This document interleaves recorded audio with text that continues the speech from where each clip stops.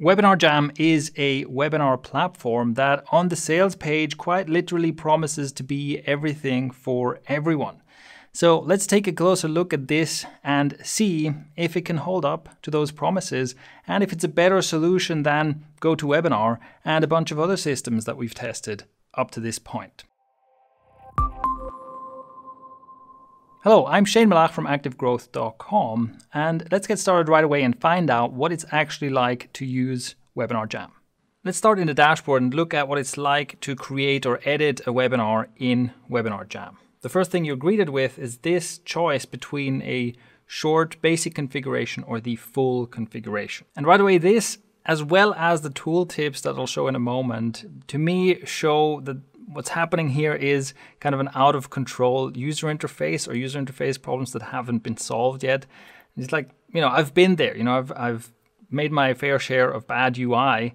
So it's familiar to me, but basically what's happened here is with a webinar solution, you have so many options, you have so many things to go through, and it's difficult to put that into kind of an intuitive, user-friendly UI.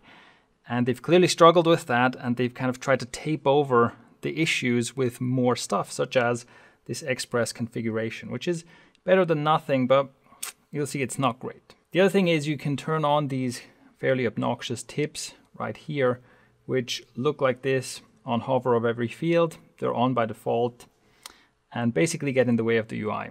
Also, I don't love it. There's this strange thing in the UI where you, you can open these panels and make changes. You can open multiples of them, but you can't move on to the next thing unless you confirm each individual choice or cancel it. And instead of asking here, you know, do you want to confirm or cancel these choices, you have to go back. You have to remember that whenever you open settings, you have to go back up and either confirm or cancel your choice. It's not very intuitive, but you know, it's not a deal breaker. It takes longer than it probably would have to to go through the webinar configuration, but it's good that we have all these options. It really covers basically everything you could want to configure about your webinars. You can. Let's quickly talk about landing pages because that's built into Webinar Jam. So you can design your own landing pages to some extent. So let's look at what that looks like by picking one of these templates. This opens a separate builder where you can see an outline around anything you can edit and you can edit or delete stuff. And it tends to be a bit finicky. And you can change things like the text and font size and things like that as you'd imagine. And you get different editing options on different elements. So on a button, we'll get this sidebar here where we can change the color, for example. And depending on what you click, and depending on what you choose to edit, you get different options. It's, it's one of the more clunky feeling editors, but you have a decent set of, of you know, well-designed, kind of conversion-focused landing pages I would say the customization, the customizability of it is not great, but it's everything you need. So if you create the pages you need, you create like your own templates, or you edit them to have your own branding and colors and so on, you basically only have to do that once and then you can just use the same ones in future webinars. So again, it's not great, but it's certainly not a deal breaker. Before we go into what the actual live webinar is like, there's only one thing in the back end that I really feel I need to emphasize. In my testing, I noticed that the emails, so the, the confirmation emails, registration emails, reminder emails, and so on, all of them went into my spam. And I tried different settings, and basically all the emails from Webinar Jam always went into my spam folder. This only changed once I went into my profile, into integrations, email gateways, and I integrated it with, in my case, Postmark, which is an email delivery service. So it seems like if you want to be really sure that all the Webinar Jam emails actually reach your audience, you will have to integrate with your own email delivery service. That's certainly not ideal and something to look out for. Make sure you test that before you go live with any webinar. So now let's go into the webinar itself. And here the options start looking really good because right away I can actually choose to just run a test separately before a live event. That's great and I have a clear overview of the links that matter. So it gives me all the links in one place for this specific webinar I've chosen. We have the presenter links, we have the attendee links, and we have the replay links available already. So right away I have like one place with an overview of all the links that matter for my webinar. To test this out, as usual, I'll basically be the webinar admin on my laptop and I'll have a separate screen, different browser where I'll pretend to be an attendee on my own webinar so we can see both sides of this. For the webinar host, there is the live room and there's also a separate control center where you just see all of the chat, you see all of the prepared polls and offers and things like that. And this is very useful. You can have someone being the host and someone being an assistant to the webinar and they can use the control center. So that's also pretty thoughtful here for doing webinars, especially to a larger audience and doing sales webinars and things like that where you'd want assistance. Next up, we have a series of checks, which I think are pretty good. There's some reminders of what you need to make sure of before you start. And then there's an audio and video test. In this check, there's a good thing and a bad thing. It's good that we're doing this check before we start the webinar, but you can see here, this is running off of my built-in webcam, which is rubbish. I want to use the other webcam and there's no real easy way to do this. There's no way here for me to choose a camera. I have to go to the browser settings and I have to go in here and change the camera and then reload the room before it actually uses the camera I want. This is not great. I'll start by sharing my webcam and then starting the webinar right away. This is the test webinar and then as the guest I will enter into our room. So we get a login prompt.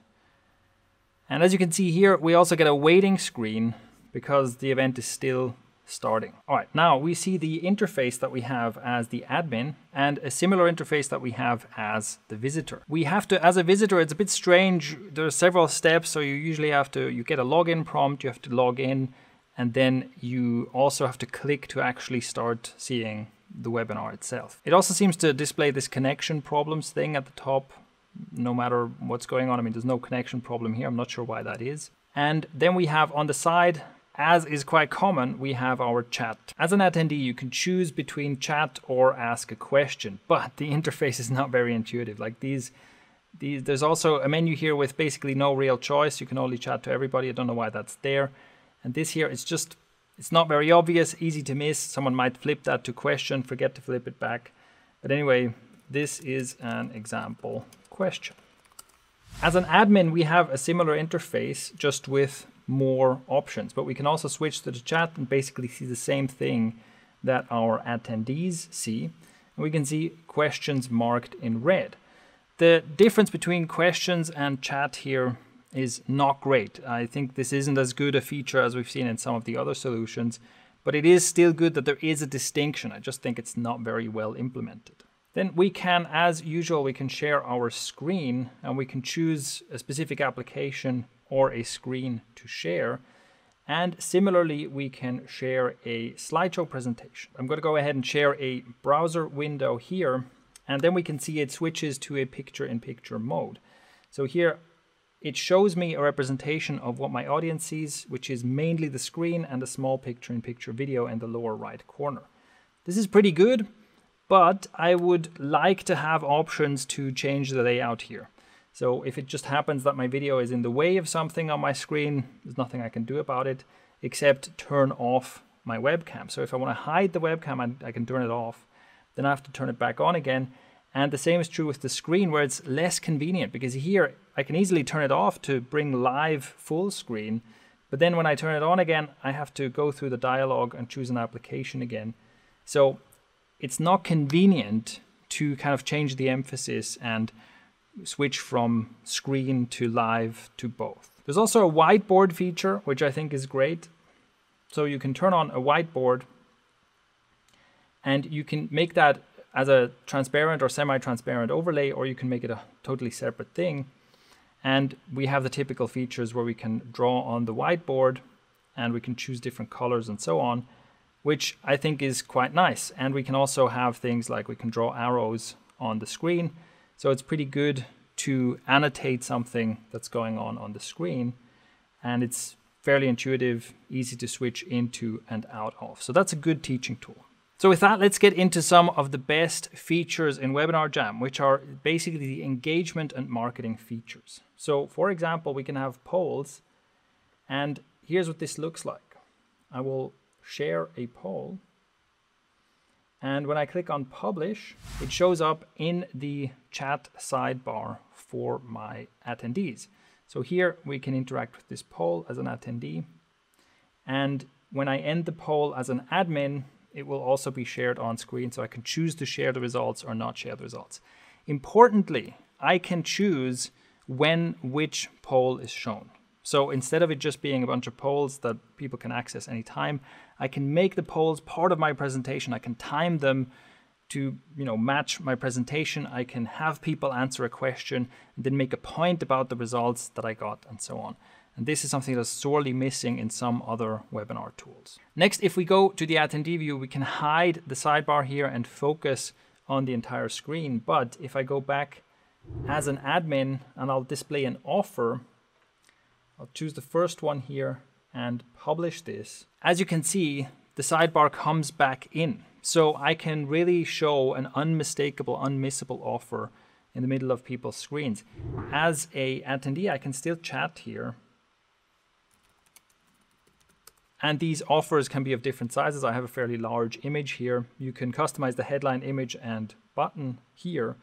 And the attendee can also hide this but the button stays visible. So really, once you start displaying an offer, that offer is visible for everyone, at least until they recollapse the sidebar. Another powerful feature is that you can have a scarce offer. So I've created a scarcity offer example here. When I publish this, then it shows together with a timer that tells people when this offer ends. So this could be some kind of a discount offer or something. And you can also have limited units and you can display sales in real time. So in your webinar, you can show a notification whenever someone buys and you can have that number tick down. This is an incredibly powerful sales tool. Webinar Jam will automatically record your event and make a replay available. And you can choose to have a time limited replay or no replay at all.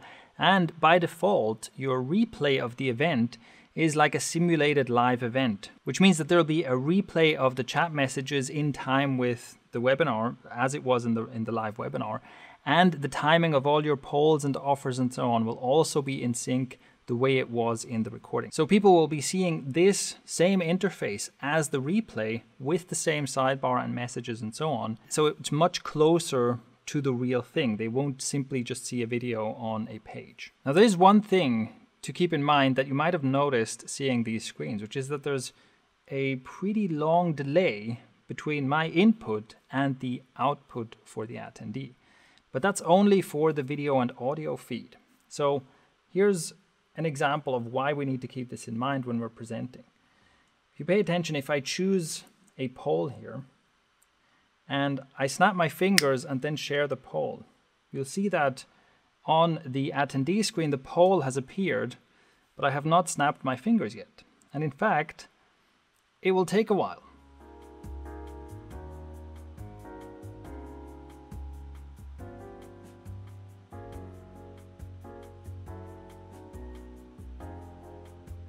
And there it is.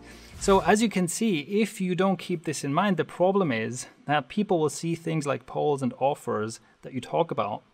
They will see them quite a long time before you actually start mentioning them. So that's just something to keep in mind. And just for the record, this isn't a very fast connection. So now we've had a look at this software. Let's talk about pricing. Pricing in Webinar Jam is quite a bit different from all the other solutions I've looked at so far, mainly in that it's only available on an annual subscription plan, so there's no monthly pricing plan. The starting price is for a 500 seat room for $479 per year. And while that's a lot of money all at once, it's basically $500 to get started using Webinar Jam. If you compare it to other solutions and if you consider that it's for up to 500 people, this is actually a really good price. This is the equivalent of paying about $40 a month, and in most other platforms, you barely get anything for $40 a month, and you certainly don't get a 500 seat room with the kinds of features you get here.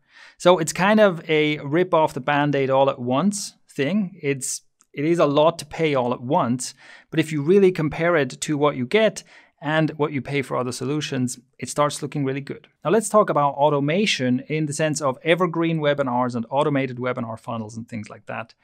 Webinar Jam doesn't have any of those features built in. Instead, they have to be purchased separately in a product called EverWebinar for an extra around $300 per year. If you want to do automated webinars or evergreen webinar funnels, that's something to consider.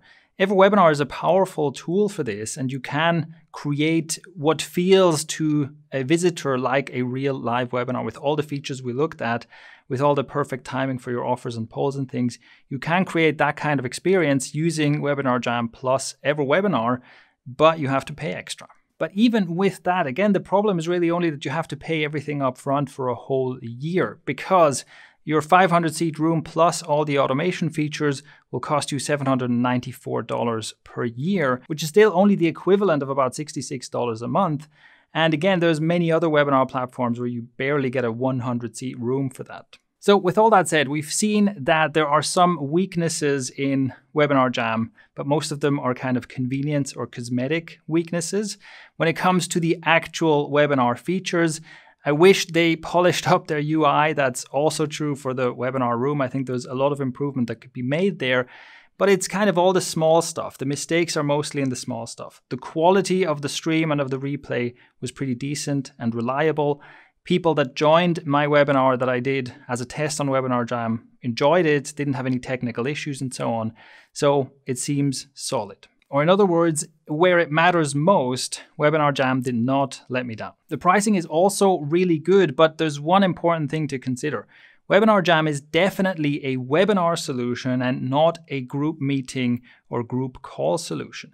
So if what you do is, you know, like a weekly group coaching call to a room with 12 people in it or something, then Webinar Jam is clearly not the ideal solution for that, and you're probably looking for something much cheaper. But if you're going to use webinars as a sales tool, from everything I've tested so far, Webinar Jam is the marketing option. They have put the most thought into how to enable high end, high quality sales webinars and educational webinars. So, if you're going to be talking to a large audience, a room full of hundreds or even thousands of people, either with the goal of delivering a presentation and building audience engagement and so on, or with the goal of selling something, Webinar Jam is a good solution and it justifies its price for that use case. So those are my thoughts on Webinar Jam so far. I definitely prefer this over GoToWebinar. And I've also been testing every other webinar software I can find. As soon as I've done that, I will do one big roundup review and choose a winner. So check the description and text below this video to see if that's already happened. As soon as I have that, I will add the link. In the meantime, let me know if you have experience with Webinar Jam either as an attendee or as a host and let me know if you have any questions or comments about today's video.